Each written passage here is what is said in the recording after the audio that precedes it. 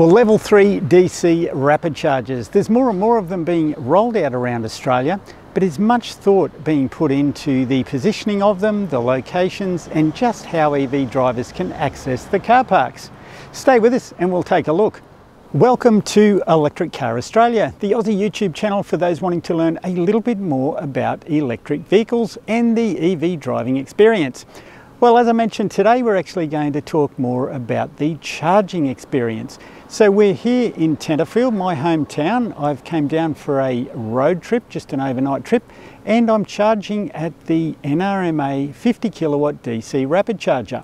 Now the NRMA in New South Wales um, is the National Roads and Motorists Association, so the motoring group, similar to RACQ and RACV in the other states.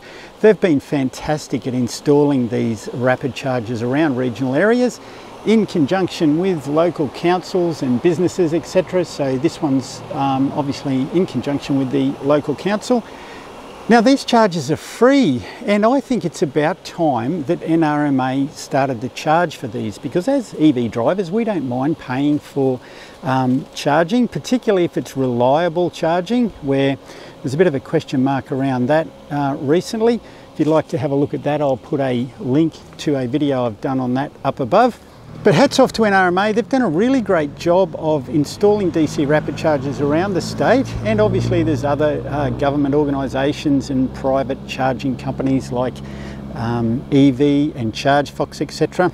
But they don't seem to be putting much thought into the positioning of some of these chargers. So as you can see behind me there, um, this is a massive car park. We'll have a look around um, shortly. When I say massive, it's about 10, 12 cars. And the positioning of this charger, I'd argue, probably could have been a little bit better. So let's have a bit of a walk around. There's the power distribution board that has a sticker on the side that says it has a fire isolation um, switch in there. So that cabling obviously comes under the driveway here over to the charger. So there's no problems with actually putting underground cables in. So that is the stock standard, I guess, fixture that the chargers usually have. It's literally a drive up to drive in or reverse in and there you go. But let's say we put the charger on the side here. So obviously if we put it on the side there, we could only charge one EV at a time. So that's not ideal. If we had drive in there at any other sites it's, or car parks, it's exactly the same as that one. But what if we went up this end of the car park and we'll just walk up there. Let's say we had a stall with a concrete divider between these car parks. Now look very similar to the service station. So there's a service station right next door. Now they have a drive up either side of that. If we done that here, so again this is at the other end of the car park so let's say up the center there, we had a concrete uh, pad. We mounted the charger on that about halfway along. So about where that oil patch is from one of our friendly petrol or diesel vehicles. If the chargers were there, at least you could drive headfirst in or reverse in, leave your trailer mounted, and you'd be able to charge. So if we come back here, you could see there's enough space there that you could drive in. So if we swing around from the service station again, we're in the exact same car park that the charge is in. This is the back of the Tourist Information Centre. Look at that. Now I am assuming there's no signage there that um, says this, but I'm assuming that's sort of like a disabled parking or a courier uh, type parking. But let's say that we had again a concrete pad up the centre there. You're right near your power distribution board there. And if we had the chargers mounted about where the red keep clear signage is, obviously that's for the ramp there, but we could put the ramp in another spot.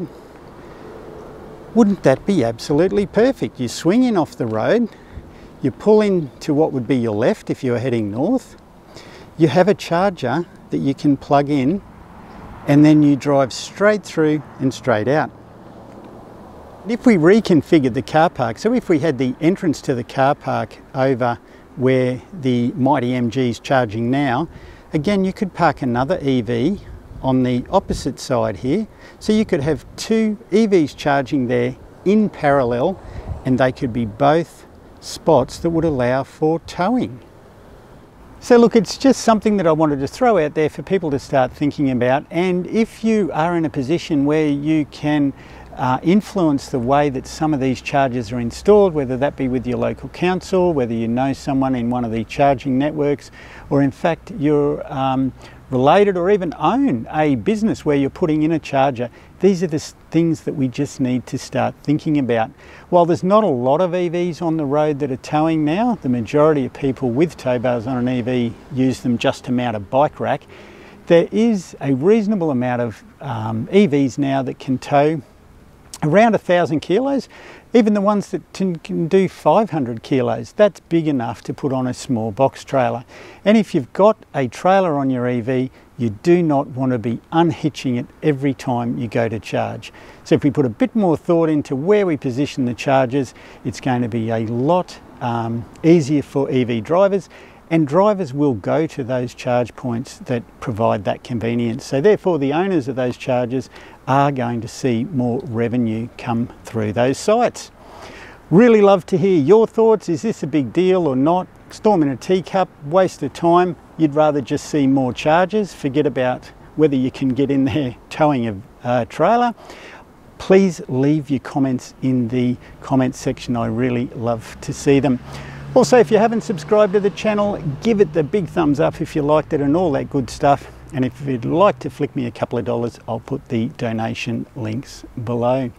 Well, that's it for another video. Take care, stay safe, look after your friends and family, and I look forward to bringing you another educational EV video soon. Cheers.